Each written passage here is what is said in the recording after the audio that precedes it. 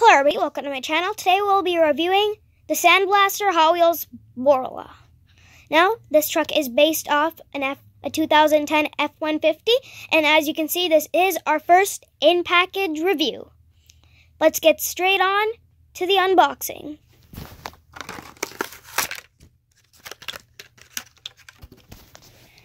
As you can see, we have got this beautiful car finally out of the package now. So, the details on this car are very nice. There, I I've googled and there is a lot of Borla Hot Wheel cars like this, Racing 78. I do suspect that is this is a trophy truck, and it looks very nice. I do like how they added the front stadium lights to make it look very nice, and that humongous front bumper. This car is also very big for a Hot Wheels um, truck. It is fairly big and it's one of the biggest I have since I just got this today.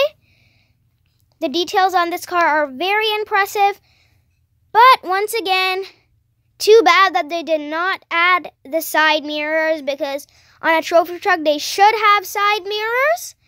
But other than that, it's a great truck, especially when they added the door handles and they added the roll cage in the back. That is all for this video, guys. Please like and subscribe, and I'll see you next time. Bye!